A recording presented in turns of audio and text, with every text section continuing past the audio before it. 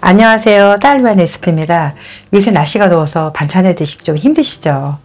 아, 날씨가 갑자기 너무 덥더라고요. 네, 만만한 밑반찬 감자하고 어묵을 넣어서 맛있게 만들어 볼게요.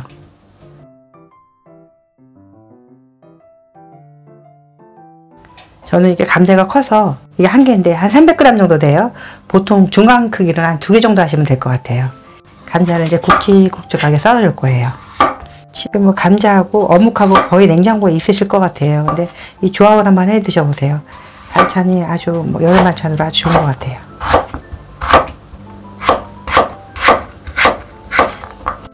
이거 물 400ml에 종이컵을 한 두 컵 정도 됩니다.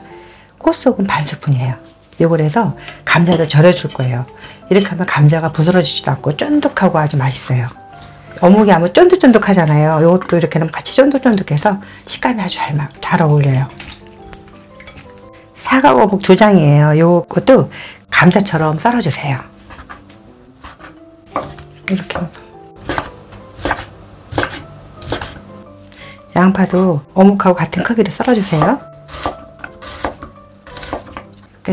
이렇게 좀 떼어놓으세요. 이따 볶을 때 잘 안 떨어지거든요. 그리고 저는 매콤한 맛을 청양고추로 낼 거예요. 여름에는 고춧가루보다 청양고추로 매운맛을 내는 게 아주 깔끔하고 맛있어요. 요거는 굵게 썰면 맵잖아요. 그러니까 되도록이면 가늘게 채 썰어주세요. 홍고추도 한 개 채 썰어주세요. 뭔가 홍고추가 안 들어가면 좀 섭섭해. 음식이. 이제 10분이 지났어요. 감자 좀 보세요. 이렇게 휘어요.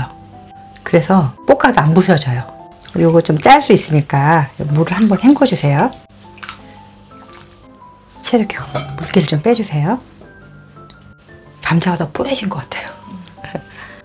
이제 간단한 양념만 넣어갖고 양념장을 만들게요. 진간장, 양조간장 상관없이 3스푼입니다.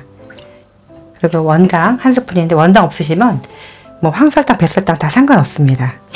맛술 두 스푼이에요. 간마늘 반 스푼입니다. 정말 간단하죠?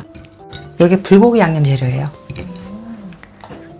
되도록이면은 집에서 제일 큰 프라이팬에 하세요. 이게 빨리 익고 좋습니다. 깨지지 않고 식용유 두 스푼 넣을게요. 감자를 먼저 넣으세요. 감자를 한참 볶아주세요. 그래야지 깨지지도 않고 좋거든요. 이게 감자는 좀 생각보다 좀 오래 익어요. 감자가 이제 투명해질 때까지 이게 볶아지니까 거의 익은 것 같아요. 이렇게 보면 젓갈이 쏙 들어가죠. 이때까지 익혀주세요. 또 감자를 한쪽으로 이렇게 몰아주세요. 그다음 여기다가 어묵을 또 이렇게 볶아주세요. 지금 불은 한 중불로 하고 있어요. 어묵 볶은 다음에 이 감자랑 또 같이 섞어주세요. 이렇게. 어묵도 볶으면 점점 쫀득쫀득하고 맛있어요. 감자가 기름에서 볶아서 익혀야지 쫀득거리고 맛있어요. 어묵도 반질반질하죠, 따님? 맛있게 됐어요. 감자도 다 익고요. 양념장을 넣을게요.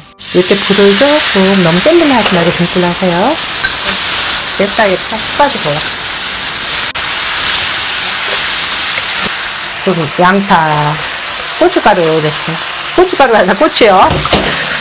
양파를 나중에 넣어야지 양파가 아삭아삭해요.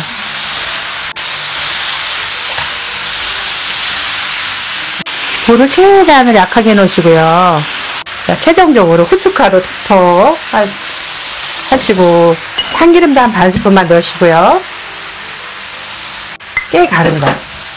요것도 솔솔 이렇게 뿌리시고 한번 이렇게 그적그적거리면은 마무리가 다 됐어요. 맛있어 보이죠? 정말 맛있어요. 이건 맨 나중에 불 한 번 더 세게 올리세요. 그래갖고 센 불에 한번 바싹 볶아주세요. 그러면 양념이 쫙 달라붙어요. 이게 요리가 불 세기가 아주 중요해요. 간이 아주 싹 달라붙었죠? 이게 불국이에요. 요게 식어도 맛있지만 제가 식어도 괜찮더라고요. 감자가 쫀득쫀득해서 어떻게 드시냐면은 감자 하나, 어묵 하나, 양파 하나, 그 다음에 청양에서 이렇게 이렇게 드시면 뭐 사막같이 정말 맛있어요. 재료는 간단하지만 정말 든든한 밑반찬이에요. 꼭 맛있게 만들어 보세요. 시청해주셔서 감사합니다. 건강하시고 다음 영상에 또 만나요.